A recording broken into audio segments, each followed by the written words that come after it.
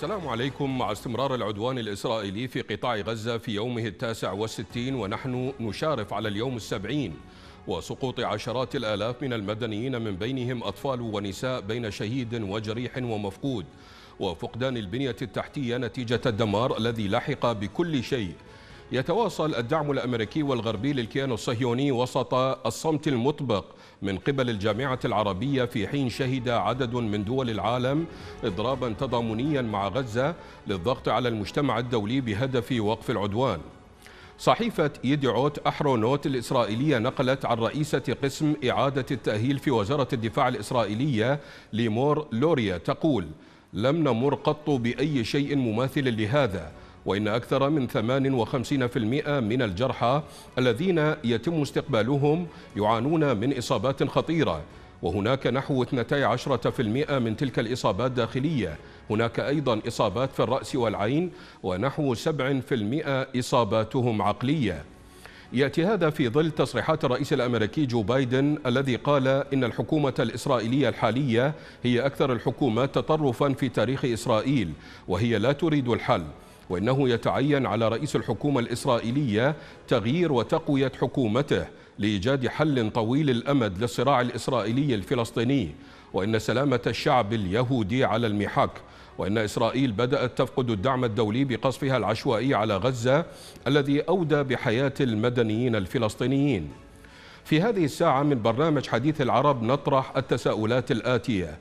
ما دلالة ما تحدث به المحللون الإسرائيليون والصحف الغربية باستحالة انتصار العدو الصهيوني في معركة طوفان الأقصى؟ ما تفسير ظهور الأرقام عن خسائر جنود الاحتلال؟ لا سيما ما أعلنته مستشفيات الكيان الصهيوني.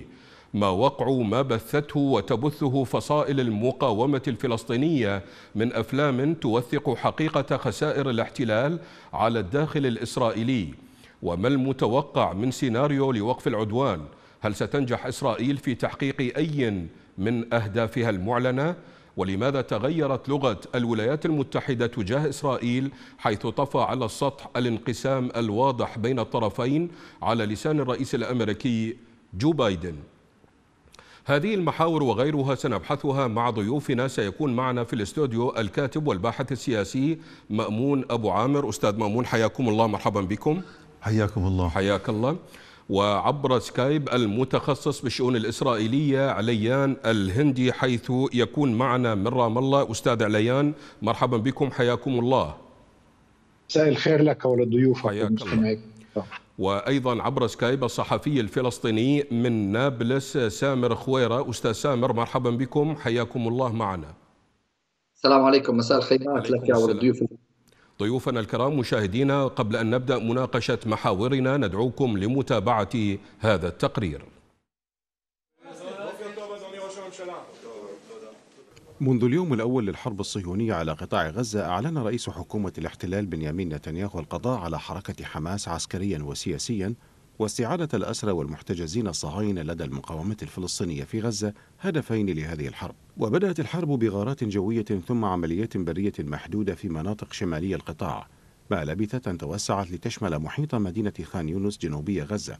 وطالت أيام الحرب وأسابيعها ودخلت شهرها الثالث وسط تعاظم كبير لقائمة المجازر الصهيونية ضد المدنيين الفلسطينيين في أنحاء القطاع.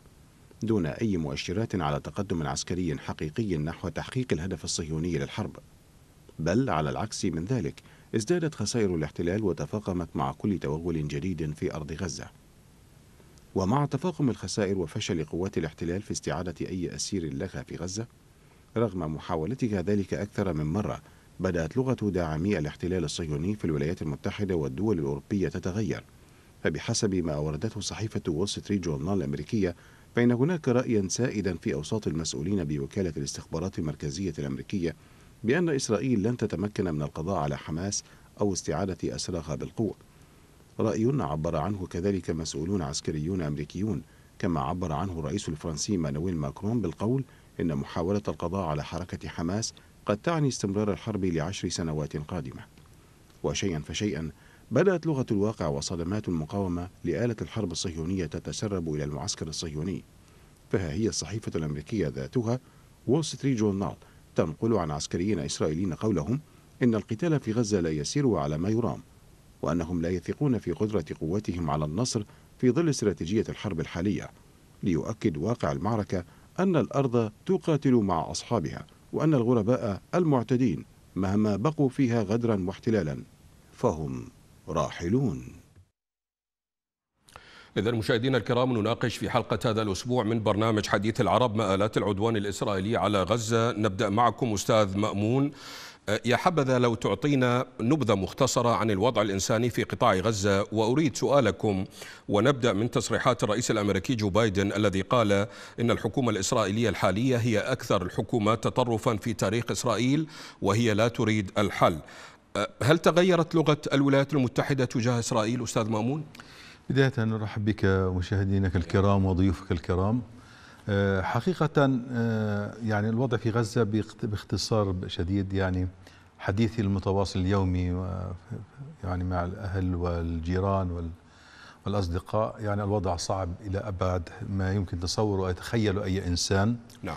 آه، يعني الوضع الجوع والعطش يعني إذا إذا إذا لم إذا لم تمطر السماء فهم عطشوا.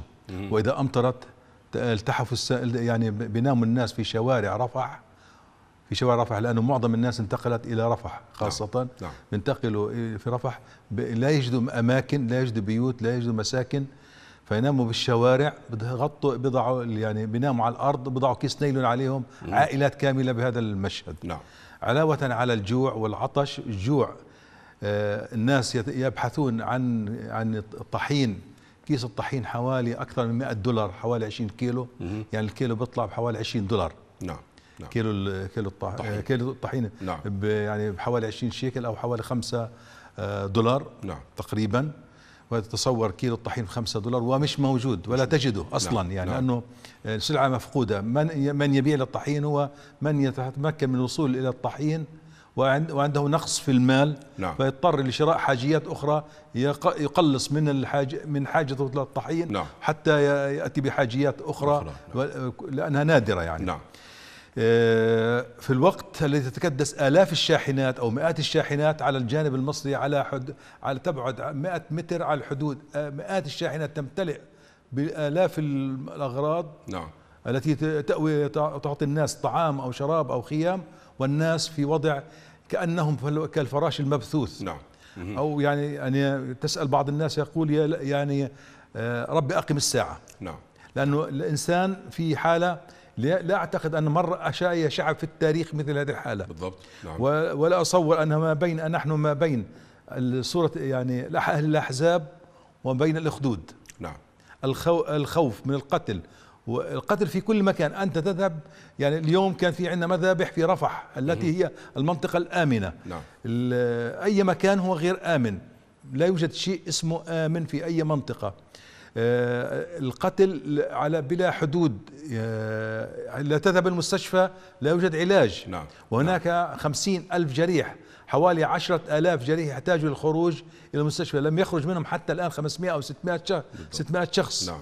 نعم. وللأسف الشديد أن الجانب المصري يتضرع بانه بأنه بيأخذ إذن الجانب الإسرائيلي مع أنه الدخول والخروج يتم عبر عبر نعم. بوابة يعني تغير في هذا الإطار لو نربط بين ما يحدث في قطاع غزة ونحن هنا في قناة الرافدين نغطي بشكل يومي عبر الأخبار وعبر التغطيات نغطي بشكل واسع عن ما تعانيه قطاع غزة وما يعانيه الشعب الغزي ولكن تغير لغة الولايات المتحدة هل سيكون في صالح ما يعانيه الشعب قطاع غزة؟ آه هذه المعاناة حركت يعني للأسف الشديد حركت قلوب الأعاجم. نعم. لكن للأسف لم تحرك قلوب العرب والمسلمين. لا نجد يعني مظاهرات قليلة في بعض في بعض العواصم العربية آه في بغداد في في بيروت في في عمان في صنعاء. نعم. آه بعد هيك يعني لا تجد يعني. أو ببعض البلدان الإسلامية أندونيسيا ماليزيا باكستان نعم. آه، شوي في تركيا يعني. نعم. ولكن هذا أم يعني أمة 2 مليار تنتظر تستجدي العالم أن أن يفتح المعبر. مصر بكل هذه الثقة الاستراتيجي والمكانة الدولية تستجدي يعني تأخذ إذن إسرائيل لإدخال شاحنة. وللأسف الشديد عندما يدخل تدخل شاحنات للأسف الشديد والكارثة نص الشاحنات بتدخل ماء. وبإمكانه الشاحنة هذه بتدخل ماء بجالون جالون سولار جالون سولار واحد نعم. بتشغل محطة تحلية بتكفي بدل شاحنه لماذا بتدخل لي شاحنات؟ ما دخل دخل لي طح طح طحين وبقوليات وحتى سقطات الناس لكن مساعدات طبية مساعدات وإغاثية. طبية طيب. وغذائية وكل والخيم والحاجات الناس. للأسف الشديد يعني حتى معايير يعني الإدخال قليل. ومعايير الادخال مبتورة حتى بدخلوا حليب طب هو حليب بدنا ثلاجات فيش كهرباء بدخل لي حليب ليش طيب. وألبان أستاذ يعني. خلينا أحكي نعم. الشغله أكمل الآن نعم. بالنسبة للموضوع الأمريكي تفضل. الآن هذا الحدث يعني وما حدث في العالم الغربي من مظاهرات واحتجاجات يعني أثر في المجتمع الغربي واستطلاعات الرأي في أمريكا نعم كان واضح أن 70% من الجمهور الأمريكي غير راضي عن السياسة أوباما في هذا الاتجاه خاصة في الجيل الشبابي من 24 إلى 34 من من 18 ل 24 نعم. طبعا يمكن النسبة آه، تقل في الأجيال الكبيرة لكن بالمجمل العام بالمجمل العام هناك 60% من الجمهور الأمريكي غير راضي عن هذه السياسة ويعتبرها سياسه متحيزة لإسرائيل لذلك أعتقد أن التحرك هذا في الإدارة الأمريكية جاء من ضمن ضغوط داخلية وليس من ضمن ضغوط الأصل أن يتحرك ربع العالم أو ثلث أو أكثر من آه، حوالي 2 مليار مسلم من 7 مليار ونص أو 8 مليار يتحركوا للضغط على الولايات المتحدة الأمريكية من أجل وقف هذه المل هذه المجزرة وهذه الم- المطحنة وهذه المحرقة ضد الشعب الفلسطيني الأعزل. طيب أستاذ عليان أجدد الترحيب بكم. آه، لا نغادر ما تفضل ما ما صرح به آه، بايدن وليس ما تفضل به آسف جدا. قال يتعين على رئيس الحكومة الإسرائيلية تغيير وتقوية حكومته لإيجاد حل طويل الأمد للصراع الإسرائيلي الفلسطيني وإن سلامة الشعب اليهودي على المحك. هل فعلا الولايات المتحدة في هذا الظرف تحديدا تريد حلا طويل الأمد للصراع الإسرائيلي الفلسطيني أستاذ عليان؟ أسف. مساء الخير لك ولجميع المستمعين. أحب بصراحة أول أعلق على الأزمة الإنسانية الموجودة في قطاع غزة قبل أن أجيبك على السؤال. نعم. التقارير الدولية والتقارير الصادرة عن منظمة الصحة العالمية تشير إلى وجود كارثة عظمى في قطاع غزة حيث لا يجد ما يقارب من آه، آه، 30 ألف مريض ضغط وسكري أدوية و آه، لا يوجد هناك أدوية لعلاج ألف مريض من السرطان وأمراض الإنفلونزا والمعوية انتشرت بشكل هائل عشر أضعاف تضاعفت أمراض الإنفلونزا وهي السبب الأول بالمناسبة للوفاة في كل العالم فما أدراك في الحالة التي يمر بها غزة. أعتقد إنه هناك تقارير دولية بالمناسبة تصدر عن الوضع الإنساني بشكل يومي من قبل الأمم المتحدة ومن قبل الأونروا وجميعها تشير إلى أن الكارثة اذ لم تجد لها حلا سريعا وفوريا أعتقد أنها ستتفاقم وستؤدي إلى آه، شهداء وموتى أكثر من الأعداد الذين استشهدوا في المعارك. ونوجه عبر آه، آه، محطتكم الكريمة نداء لكل أحرار العالم كي يكون هناك تحركا من أجل أن يجدوا حلا ولو طارئا للأزمة الإنسانية التي يمر بها سكان قطاع غزة خاصة أن السياسة الإسرائيلية والهدف الإسرائيلي الأصلي هو تهجير السكان الفلسطينيين من قطاع غزة ودفعهم إلى التوجه نحو مصر.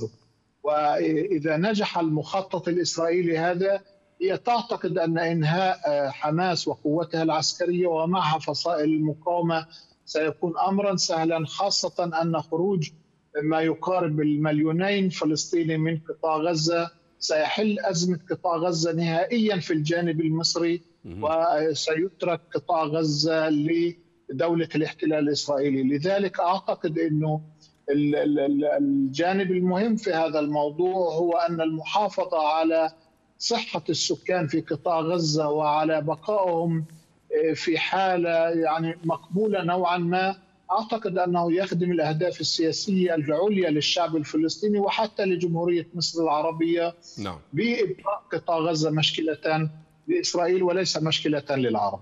فيما يتعلق بسؤالكم أعتقد إنه اللهجة الأمريكية بصراحة هي تتغير في يعني بعيدا عن الجانب الشعبي اللهجة الأمريكية تغيرت امام وسائل الإعلام ولم تتغير في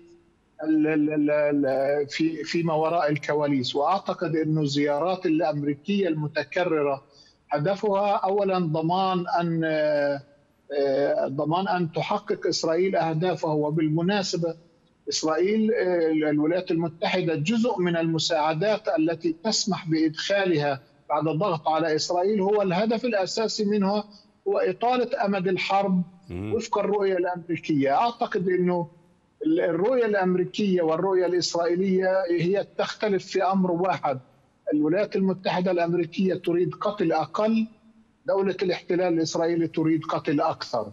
وبالتالي أنا لا أعتقد أن هناك تغيير جوهري في هذا الموضوع الزيارات الأمريكية المتكررة لدولة الاحتلال الإسرائيلي والتصريحات المختلفة والاجتماعات حتى المشاركة في مجلس الحرب يعني وهي من المرات القليلة التي يشارك فيها المسؤولين الأمريكان في مثل هذه المجالس تشير بوضوح أن الخلاف بين الطرفين ليس حول الأهداف والوسائل وإنما حول الوقت هل يعني في الوقت الذي تطرح فيه إسرائيل أنها تحتاج إلى شهرين كي تنهي بالمناسبة المعارك الكبيرة وليس الصغيرة تصرح الولايات المتحدة الأمريكية أن ذلك كثير وهي تريد من شهر إلى شهر ونصف وهذه اللغة بالمناسبة ما زالت هي سيدة الموقف. منذ أكثر من حوالي أسبوعين نعم. نعم. ووسائل الإعلام المحلية والإسرائيلية والدولية تتحدث عن هل هما شهرين أم شهر ونصف وتبين اليوم أن جاك سوليفان المسؤول الأمن القومي في الإدارة الأمريكية جاء اليوم لكي يتحدث عن مدة شهر كامل طيب. أما فيما يتعلق بالتوجهات نحو الحل النهائي أعتقد أن الولايات المتحدة الأمريكية لها سياسة واضحة تجاه القضية الفلسطينية وهي رسمت منذ عام 1967 حتى هذا اليوم. طالما أن القضية الفلسطينية لا تشكل تهديدا لمصالح الولايات المتحدة الأمريكية ليس فقط في في دولة الاحتلال الإسرائيلي وإنما في كل المنطقة. وطالما كان هناك تخليا عربيا عن هذه القضية أعتقد أن الولايات المتحدة الأمريكية ستواصل سياستها طيب. وجل ما تعمل عليه هو التوصل إلى ما يشبه اتفاق أوسلو جديد في المنطقة والكثير من المؤشرات تشير إلى هذا نعم أستاذ علي. أستاذ سامر يعني ما دمنا ما دمنا قد يعني أخذنا تصريح بايدن. لابد من أن نأخذ تصريح للقيادي في حركة حماس اسامه حمدان حيث يقول لن يفلح الاحتلال في تحرير اسراه أحياء وأن نتنياهو لن يحقق هدفا في غزة وأن فعل المقاومة جعل بايدن يدرك أن حرب إسرائيل جنون سيضر الكيان الصهيوني بأكمله. بعد تصريح بايدن تجاه إسرائيل كيف يمكن للمقاومة استثمار هذا التصريح؟ وما الذي أن تفعله في هذا التوقيت تحديدا؟ مساء الخيرات رحمة الله شهداء في غزة هاشم في كل فلسطين التاريخية وإن شاء الله النصر للمقاومة. أقول لك كما قال الأستاذ عليان ليس حبا في الفلسطينيين وليس كرما من بايدن أن يتحدث بما قال به. هذا الرجل هو ضمن منظومة متكاملة ليس وحده بل هي إدارة أمريكية وهناك من يديرها في الخفاء أكثر ممن يظهر في العلن. دعم مطلق غير مسبوق للكيان الإسرائيلي. ومن يفكر يوما من الأيام أن الولايات المتحدة الأمريكية قد تتحدث في تصريح هنا أو هناك قد يكون في صالح القضية الفلسطينية فهو واهم. ومن يعتقد أن بايدن أو الإدارة الأمريكية أو من سيأتي بعده من كان قبله قد يعمل يوما لصالح القضية الفلسطينية فأعتقد أنه يعني يحتاج إلى دروس كثيرة في السياسة. وأكبر دليل اسمح لي أن أذكر الناس قبل يومين فقط بالفيتو الأمريكي في مجلس الأمن. لو كان فعلا بايدن أو الإدارة الأمريكية حريصة أو أو تهتم لآلاف الشهداء وللدمار الهائل غير المسبوق في غزة على الأقل على الأقل اكتفت بعدم التصويت أو ب يعني لن أقول تعارض عفوا أو تدعم لكن على الأقل هي تكتفي بعدم التصويت لكن الإدارة الأمريكية موقفها واضح بشكل كامل. الآن هذا التصريح أيضا لا شك ينم عن بدء خلاف ممكن يكون حقيقي ما بين الإدارة الأمريكية وما بين آه، آه، نتنياهو والحكومة الإسرائيلية. هذا التصريح سبب الرئيسي التأثيرات غير المسبوقة لإنجازات المقاومة على الأرض على الملف الفلسطيني وعلى الملف الدولي وقد تكون مؤثرة حقيقة في موضوع الانتخابات الأمريكية، بايدن يريد أن يجلس على الكرسي مرة أخرى لأربع سنوات، لكن واضح إنه الحراك العالمي والحراك الأمريكي غير المسبوق في كثير من الولايات والمواقف حتى داخل الإدارة الأمريكية نعم. والاعتصام الذي جرى أمس أمام البيت الأبيض من عدد من موظفي البيت الأبيض الذين يطالبون بالضغط لوقف إطلاق النار أعتقد أن المقاومة هي التي أثرت على هذا الأمر وإنجازات المقاومة وصمود المقاومة وقدرة المقاومة على تحطيم الكيان الإسرائيلي وعلى تحطيم الجيش الإسرائيلي هي التي أثرت في ذلك وطبعا الفضل اولا وأخيرا هي لصمود نعم. الشعب الفلسطيني نعم. الصمود غير غير المسبوق هذا الصمود الأسطوري اليوم المقاومة تدرك تماما أن بايدن والإدارة الأمريكية والأوروبيين وحتى بين قوسين المجتمع الإسرائيلي والجيش الإسرائيلي ونتنياهو حقيقة ودون مجاملة وبعيدا عن الإنشائيات نعم. نعم. هم مأزومون مأزومون حقيقة وبالتالي أظن أن المقاومة قادرة على قراءة هذا الأمر بشكل جيد وسوف تستثمر هذه التصريحات لصالحها وسوف تضخ لأنك أنت تحدثت عن المعركة الإعلامية وهذا أمر مهم نعم. جدا وكوني صحفي نعم. أعمل في سنتحدث عنه بشكل كبير تأثير الضخ الإعلامي للمقاومة والفيديوهات المدروسة والتصريحات أيضا المدروسة من أسامة حمدان. نعم. وبالأمس إسماعيل هنية وغيرها تأتي كلها في صف المقاومة الفلسطينية. الكلمة الأولى والأخيرة لن تكون لا لبايدن ولا نتنياهو ولا الدول المطبعة ولا غيرها ستكون فقط للمقاوم الذي يجلس تحت الإطلاق تحت الأرض ليؤثر على من هم فوق الأرض. هذا المقاوم اللي موجود الآن آه، ولديه رؤيه واضحة وإيمان مطلق بما يقوم به هو الذي سيرسم خريطة المنطقة في المرحلة القادمة طيب. هو نعم. الذي سيؤثر أستاذ أستاذ مأمون آه، يعني آه، محللون إسرائيليون تحدثوا عن استحالة انتصار إسرائيل وأيضا تحدثت صحف غربية من أن إسرائيل لن تكسب الحرب ما هي الدلائل التي دعتهم للوصول إلى هذه النتيجة هذا يأتي في سياق يعني واحد وهو آه، كما تفضل الزميل سامر آه، قضية إنه انجازات المقاومة على الأرض نجاحها في إفشال يعني في عندنا مسارين للمقاومة. نعم. المسار القتالي للمقاومة المسلحة والمسار الصمودي للشعب الفلسطيني الصامد يتحمل كل هذا الضغط الهائل. نعم. لا يتحمل بشر فوق فوق نعم. الأرض. نعم. وعدم يعني إصرارهم على البقاء على هذه الأرض وعدم الانزياح عن من هذه الأرض رغم كل هذا الضخ الذي تشاهدونه والذي تسمعونه هذا هذا أسطورة. نعم. هذه أسطورة التاريخ ستكون. جانب أسطورة المقاومة المقاومة بإمكانياتها المحدودة.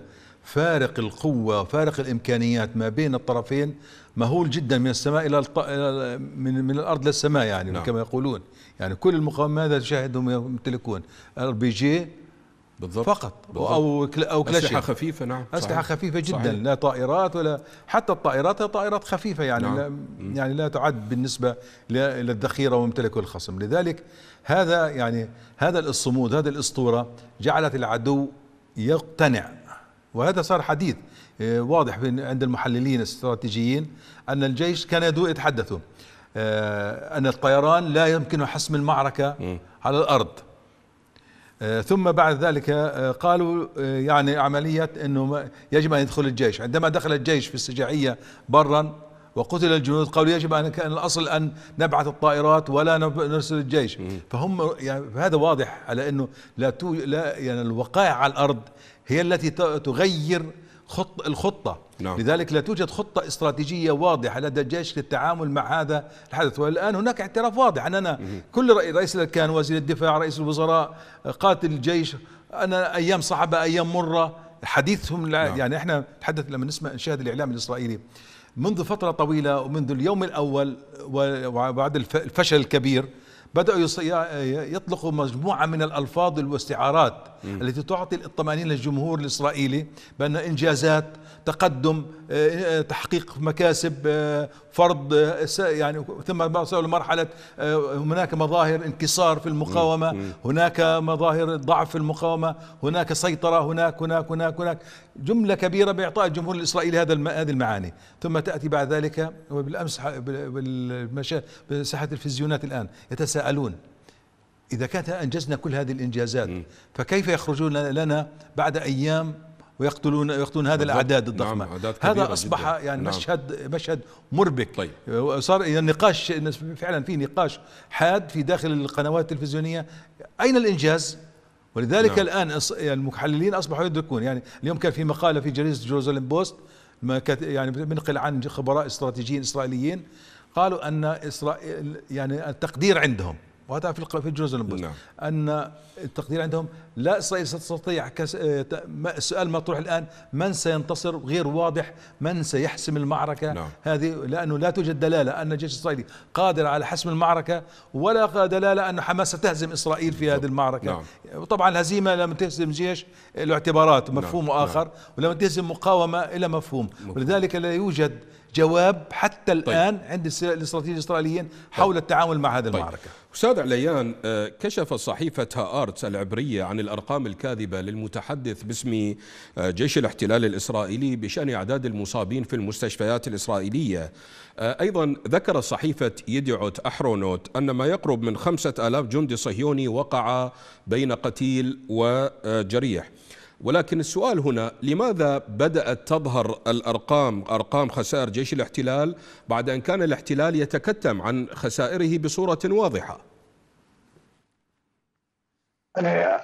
أولا لابد من القول أنه في هذا الموضوع بالذات أنا بالمناسبة أعد تقريرا شاملا عن هذه الحرب وأتبع كل تفاصيلها إن كان باللغة العبرية أو باللغة العربية. أحد هذه وأحد المواضيع التي أتابعها في هذا الموضوع هي مسألة القتلى والجرحى الإسرائيليين في قطاع غزة. نعم. كان واضحا منذ آه، الأيام الأولى للعمليه آه، العسكرية التي شنها المقاومين على غلاف غزة أن هناك عشرات القتلى ومئات القتلى والجرحى. وقد تبين لي من الإحصائيات حينها أن الذين جرحوا حتى العاشر من أكتوبر آه، من الشهر من الشهر الماضي بلغ ما يقارب 3800 من بينهم 1000 وإضافة إلى 1115 قتيل. نعم. آه، عندما أراجع الإحصائيات التي أتبعها أيضا يوميا أجد أن عدد الجرحى اليوم يصل إلى آه، ما يقارب 11 ألف جريح. بمعنى أن هناك أرقام هائلة من الجرحى تصل إلى ما يقارب السبعة ألاف جريح. وإضافة إلى ذلك هناك أكثر من 150 قتيلا إسرائيليا حسب الإحصائيات التي أتبعها أنا وليس كما يدعون 114 جندي. نعم. من ضمن هؤلاء الجنود 11 واحد في في جنوب لبنان تم قتلهم على أيدي مقاتلي حزب الله وأربعة في الضفة الغربية خمسة في الضفة الغربية. أحد هؤلاء قتل على يد مستوطن بالمناسبة. يمارس أبشع أنواع القتل والتخريب في أراضي الفلسطينيين في جبال الضفة الغربية. وبالتالي إذا إذا تتبعنا الأمر وفق ما يجري في كل الحروب في العالم إذا قدر أن حسب ما جرى في الحرب الروسية الأوكرانية أن 10% آه، من قوة المهاجمين آه، قتلى مقابل واحد في من المدافعين أعتقد أن الرقم القتلى في إسرائيل سيصل إلى أكثر من 400 إلى 500 قتيل لكن نعم. عادة إسرائيل لا تريد أن تعلن بشكل واضح عن قتلها خوفا من زيادة معنويات المقاومين في قطاع غزة نعم. لذلك تحاول المقاتلين بث الصور والأفلام المتنوعة حول العمليات البطولية التي يقومون بها طيب. فيما يتعلق بالداخل الإسرائيلي أعتقد إنه إسرائيل مجندة بشكل كامل ومطلق. اليوم آه، في آه، في في في في مواجهة الفلسطينيين في قطاع غزة وفي الضفة الغربية. وهي بدأت تنشر هذه المعلومات كي لا يصلوا إلى الحقائق التي ينشرها الفلسطينيين بالمناسبة. وبالتالي إضافة إلى ذلك هم يحاولون تعبئه المزيد من الشارع الإسرائيلي من وراء آه، هؤلاء القتلى الذين كما هم يتحدثون عنهم يمارسون أعمال بطولية في قطاع غزة لكن الحقيقة هي أعمال إجرامية بكل معنى الكلمة. طيب أستاذ أستاذ سامر عفوا آسف للمقاطعة ولكن آه، دعني أنتقل في هذه النقطة التي أثرتها أستاذ عليان. أستاذ سامر فصائل المقاومة تبث بين الحين والآخر أفلام توثق خسائر الاحتلال، سنبحث هذا الأمر معكم ولكن دعوني مشاهدينا الكرام ضيوفي نذهب إلى آه، فاصل قصير يتضمن انفوجراف، تفضلوا.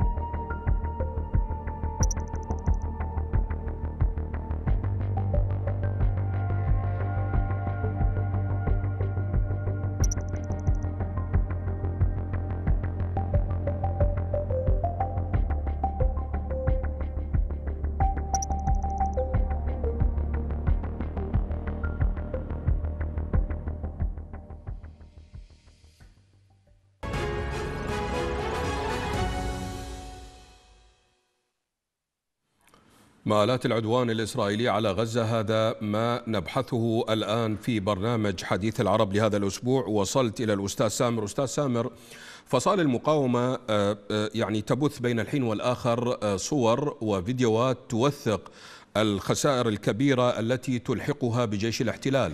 أثر ذلك على الداخل الفلسطيني من جهة وعلى الصهيوني من جهة أخرى. أنا عندي معلش على رد الأستاذ عليان وأرقامه مهمة جدا اللي ذكرها نعم. أنا بنظري الجيش الإسرائيلي أن أن أن المجتمع الإسرائيلي متجند وراء الجيش الإسرائيلي وليس وراء نتنياهو، هناك فرق شاسع بين الاثنين. نعم. آه، ليش متجند وراء الجيش الإسرائيلي؟ لأنه بنظره انه الجيش هو اليوم المنظومه اللي عليها إجماع، نتنياهو عليه خلاف شديد جدا، نتنياهو فاسد، نتنياهو يجر الدولة إلى إلى إلى الكوارث، ليش؟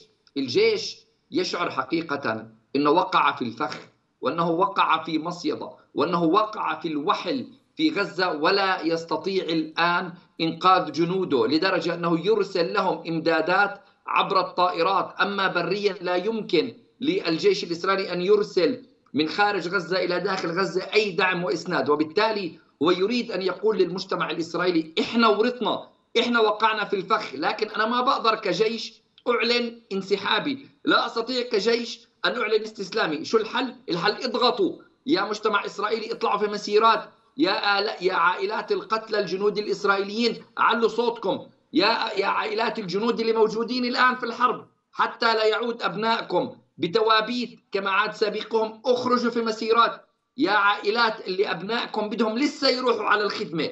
علوا صوتكم. أولادكم سيقتلوا. أنا أظن أن الجيش الإسرائيلي وصل إلى قناعة راسخة. لا تقبل الشك أنه لا يمكن له أن يهزم حماس. لا يمكن له أن يحقق أي إنجاز بعد 60 أو 65 يوم. فبالتالي الجيش الإسرائيلي حقيقة في مأزق ومأزق كبير لكن لا يستطيع أن يخرج ويعلن. تعرف لو الجيش الإسرائيلي يطلع ويعلن الاستسلام أو الانسحاب لن تقوم لإسرائيل قائمة. فبالتالي هو يريد من المجتمع الإسرائيلي أن يخرج أن يتحرك.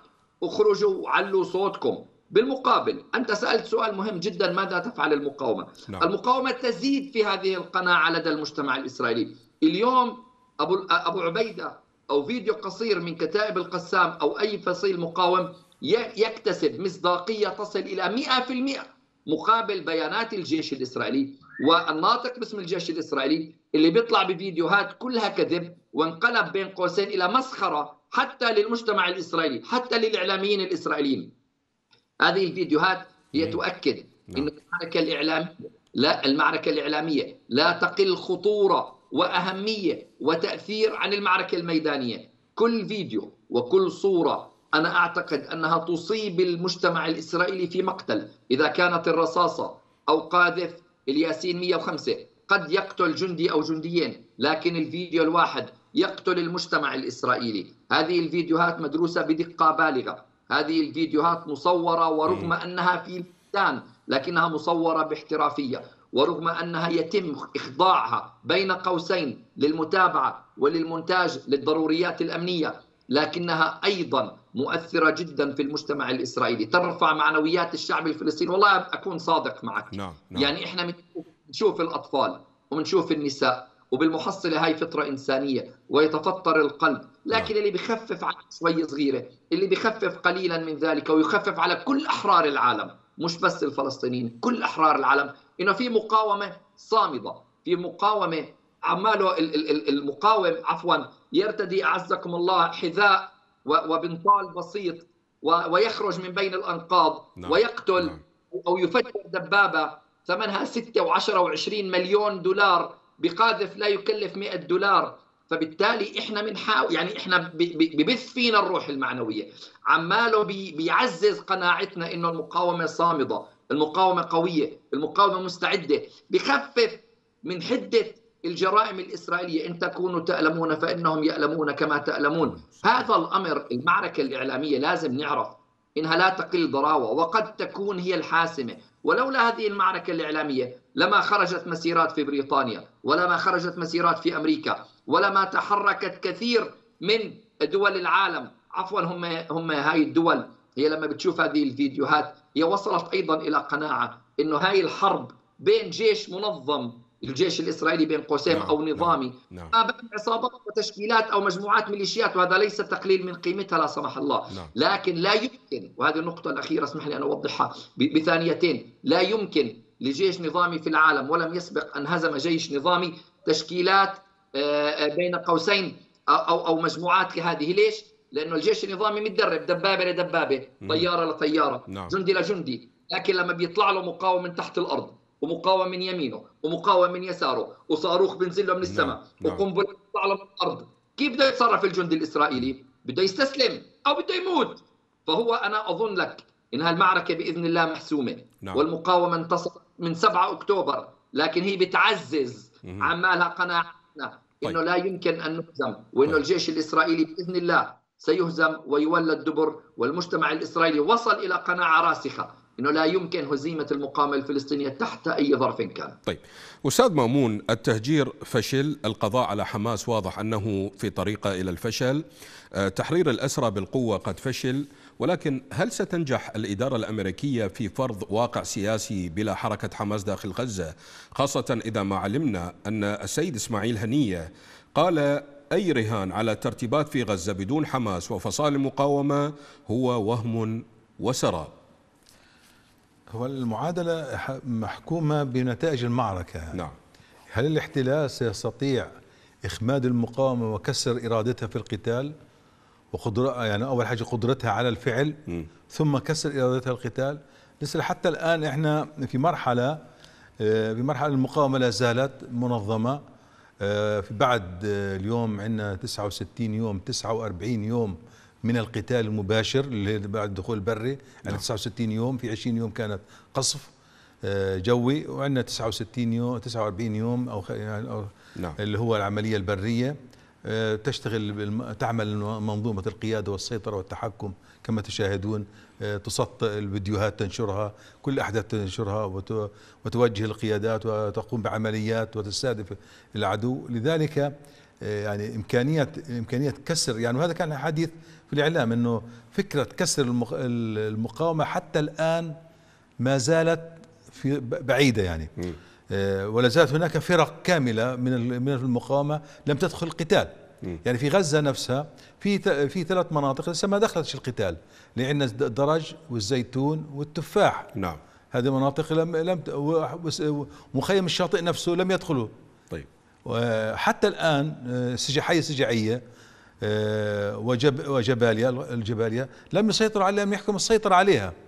وبالتالي وخان يونس أيضا لسه لسه لا زالوا في أطرافها نعم. الشرقية. يعني وهذه المناطق خاصة منطقة جباليا ومنطقة آه، سجعية أنا بسميها تورا بورا غزة يعني.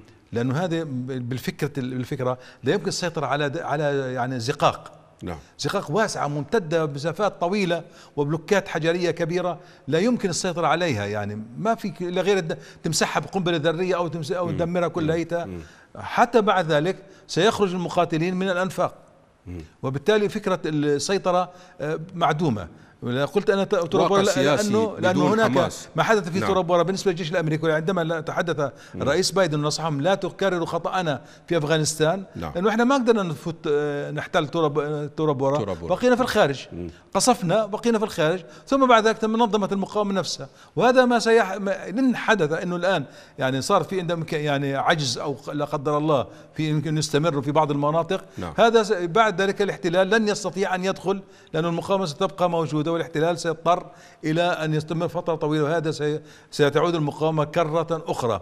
وبالتالي يعني مع وجود ما زالت عندنا في المنطقة الجنوبية رفح زالت قائمة. المنطقة الوسطى ما زالت قائمة. المنطقة آه، أحياء في غزة كاملة حتى المناطق التي تم السيطرة عليها بيت لاهيا بالأمس كانت في معركة. نعم. يعني هي أقصى شمال غرب غزة. نعم.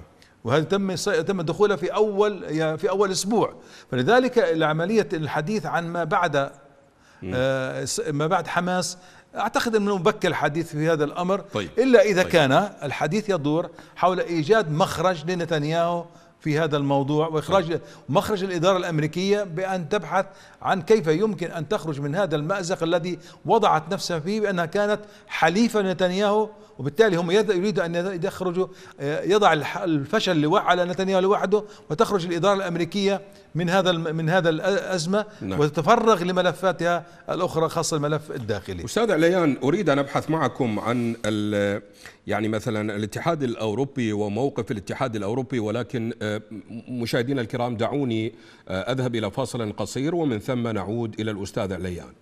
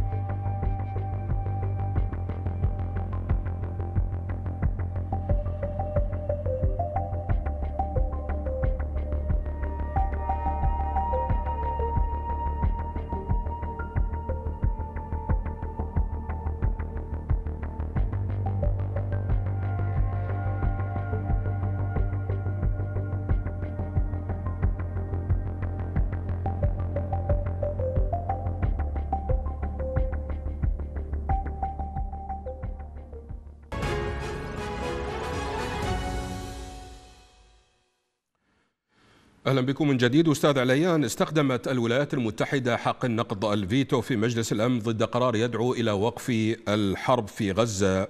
آه، مسؤول السياسة الخارجية في الاتحاد الأوروبي جوزيف بوريل يقول إن حجم الدمار في غزة يفوق ما تعرضت له المدن الألمانية في الحرب العالمية الثانية. لماذا لا يحركهم هذا القتل والدمار لوقف المحرقة؟ وفي أي سياق يمكن آه، أن نضع هذا هذا التصريح؟ أستاذ عليان. يعني اولا حابب أوضح بس نقطة بخصوص الأهداف الإسرائيلية من الحرب. بصراحة يعني بغض النظر عن نتائج المعركه مهما كانت أعتقد إنه إسرائيل لن تستطيع أن تحقق الأهداف المرجوة من هذه الحرب كما لم تنجح في تحقيق الأهداف التي شنت على مدار الأربعين عاما الماضية حروبا متواصلة ضد الشعب الفلسطيني. حددت لها أهدافا خلال اجتياح بيروت عام 1982 ولم تتحقق وهي حددت لها أهدافا خلال الانتفاضة الأولى ولم تتحقق وهي حددت أهدافا لها في الانتفاضة الثانية وفي الاعتداءات المختلفة على الشعب الفلسطيني في قطاع غزة.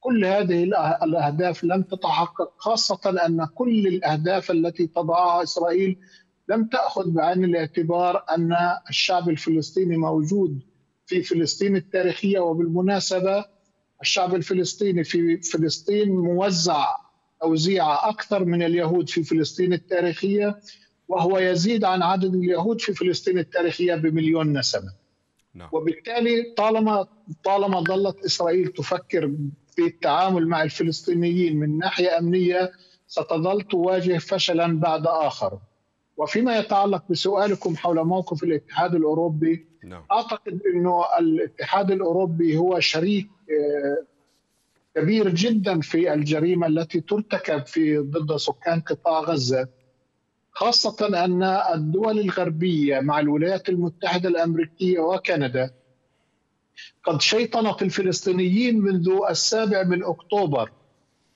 وأعطت الشرعية والغطاء الكامل لإسرائيل من أجل إبادة الشعب الفلسطيني ومحاولة طرده وليس هذا فقط بل جرت مع الولايات المتحدة الأمريكية.